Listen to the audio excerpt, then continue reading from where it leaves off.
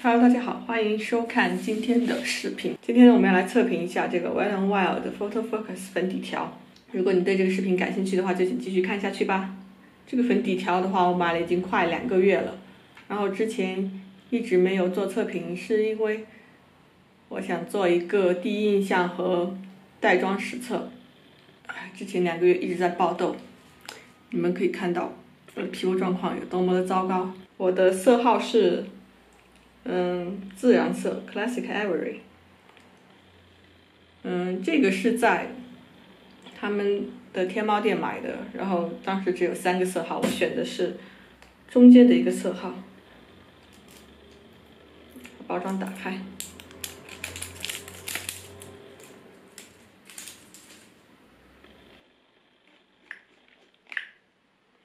总共的容量就是这么一点。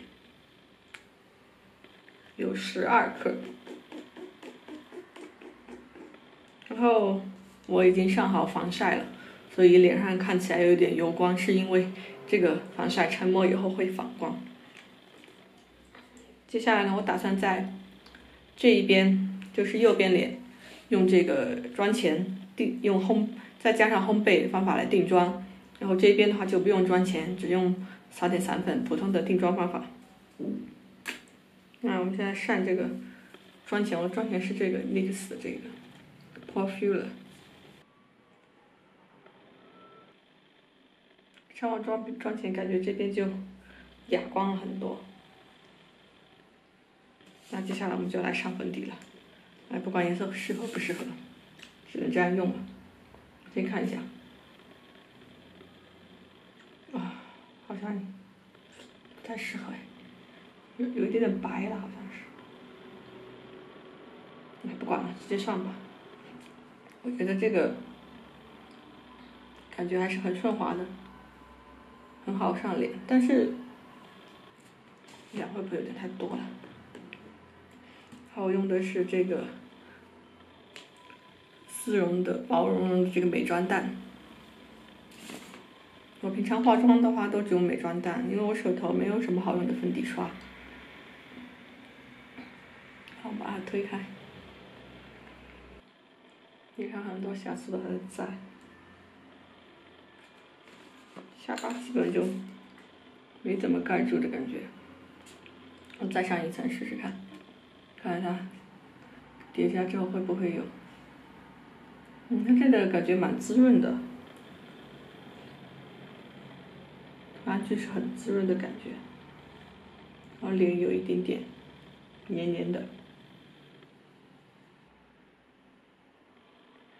嗯，叠加以后，它的遮瑕力有提升。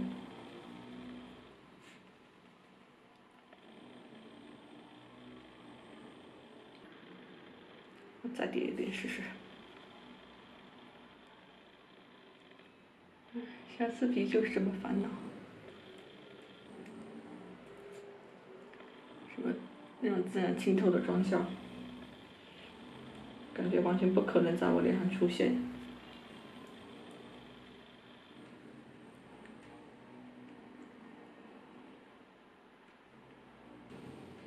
嗯，粉底到这个程度应该差不多了。嗯，近距离给你们看一下，摸上去也不算很黏，但是不怎么干燥。我以为这个粉底条它会是哑光型的，但是上下来感觉一点都不雾面，它是有光泽的。那接下来我就去把其他的部分完成之后，我们再来看。嗯，我还妆已经画完了，然后用的是遮瑕用的是 Catrice 这一款，然后散粉用的是 Coty Airspun 的这个控油力很强的一款，还用了一下这两款定妆喷雾。现在妆面就是这个样子，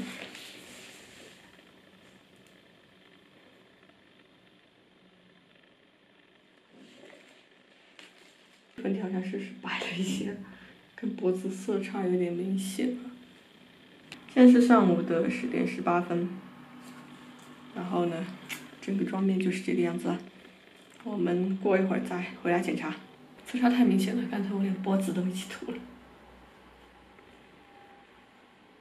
啊，我回来了，现在是中午的一点二十分，啊不对，是下午一点二十分。距离我化妆刚刚过去三个小时，我现在整体情况是这样的。然后你们可以看到，就是如这个粉底对于毛孔的修饰力不是很强。我这边用过妆前的明显要比这边毛孔要小要细。嗯，刚才忘了说了，我的肤质是刚才忘了说了，我的肤质是混合型的，冬混干夏混油。但是我今年感觉没有去年那么油了。我去年的话一定要用那个苏菲娜的控油妆前，不然的话，两三个小时之后就满面油光了。但是今年的话，明显就不需要，它基本上没有怎么出油哈。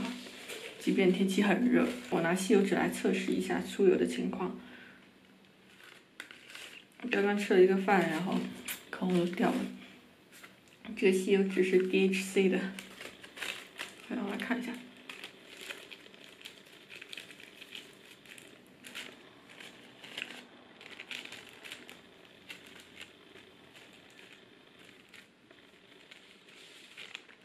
你们可以看得看得清吗？就是出油的情况不是很严重。好的，我们待会儿再见。我回来了，现在是晚上的。二十一点三十九分，我现在带妆已经快十二个小时了，然后给你们看一下现在的一个整个的情况。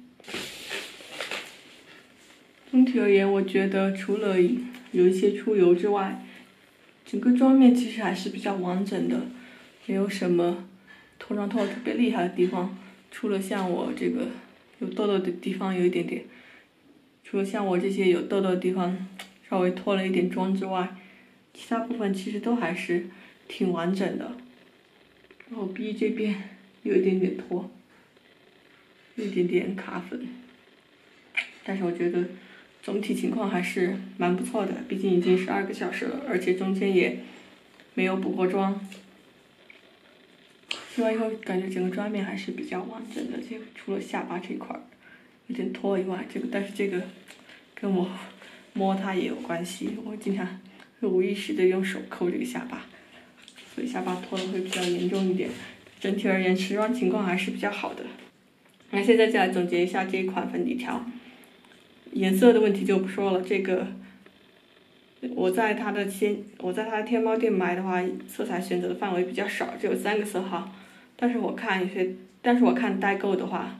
颜色选择就比较多，所以如果你想买的话，还是去找找代购，多多挑一挑颜色。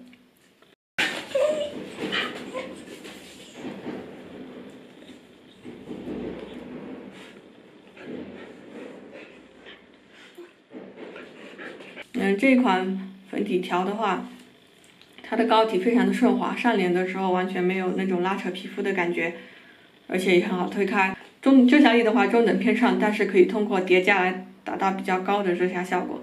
嗯，刚刚上脸的时候有一定的滋润度，呈现出来的也是带有一点点光泽感的妆效。我用的是哑光控油的散粉，所以最后上上了散粉之后，呈现的是一个比较雾面的妆效。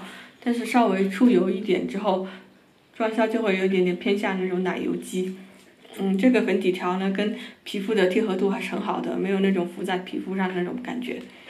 它的使用里面，你们也可以看到了，十二个小时的带妆时间没有补妆，呃，妆面还是比较完整的，没有斑驳啊、浮粉的迹象。然后我差不多是在下午五六点的时候发现这些痘痘有脱妆，嗯，我觉得这个是比较正常，因为这些地方我没有专门的用遮瑕膏去盖，也没有专门的特特别的定妆，嗯，这些地方脱妆的话，我觉得是很正常的，我用什么粉底液它都会这样。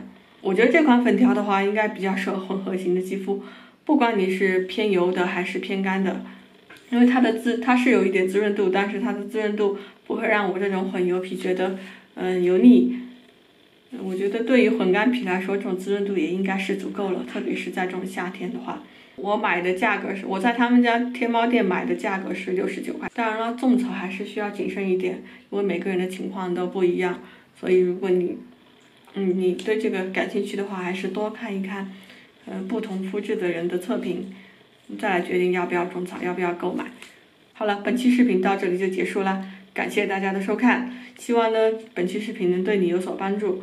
如果你喜欢这期视频的话，请给我多多的弹幕、评论、点赞、转发、投币，还有不要忘记订阅我的频道，关注我。